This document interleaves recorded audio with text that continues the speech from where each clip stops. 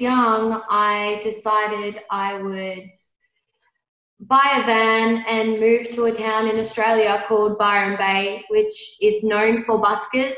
I wrote this song, um, you know, called Dance Monkey, which was about one rough night busking on the street and people wanting more and more and more from me.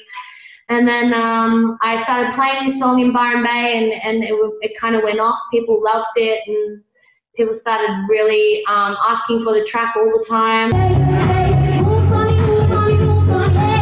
I've been playing keyboard through through school, uh, just a bit through school. Um, I didn't play an instrument properly, and then I bought the loop pedal and I started practicing every day, every day, every day with the loop pedal because I got a keyboard with different sounds on it. So the keyboard had drum sounds, so I would loop like the drums, then the bass, and then my manager spotted me before I even started busking. Like the first time I ever busked, he spotted me.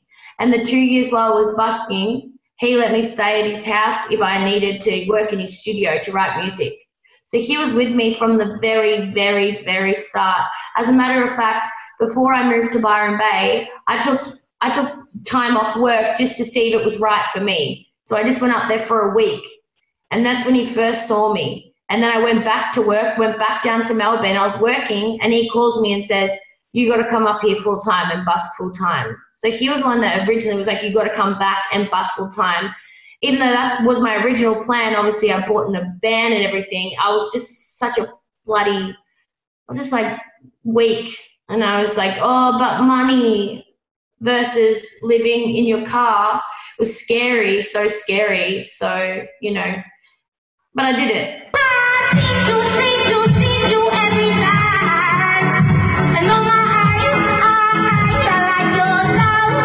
And then I released it, and the same thing happened when I first wrote the song to when I released it, just on a way bigger scale. And then it stayed on the top of Spotify for like a record breaking amount of time. It, it bet all the Shazam records or female artist records and and you know so yeah i kind of when all this stuff started happening i was like whoa to think that my favorite artists have never done this before like really that started showing me you know because to break a record is to do something no one's done before.